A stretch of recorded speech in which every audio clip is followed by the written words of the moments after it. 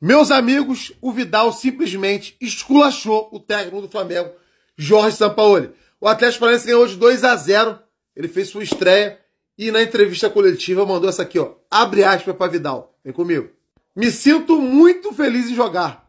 Sempre estive preparado. Somente tive um treinador, um perdedor, que não sabe apreciar seus jogadores. Mas nada ficou para trás. Agora eu estou feliz. Fecha aspas para Vidal. Todo mundo sabe que eu não morro de amores pelo São Paulo. Acho ele um bom treinador, nada mais do que isso.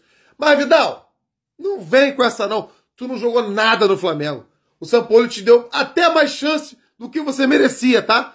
Lá no começo, você jogou umas cinco partidas como titular. Mesmo não jogando nada, ele te manteve ali. Só que depois você foi caindo de produção e não teve mais como ele te sustentar. No time titular, nem botava você no segundo tempo. Porque quando você entrava, você errava, errava tudo.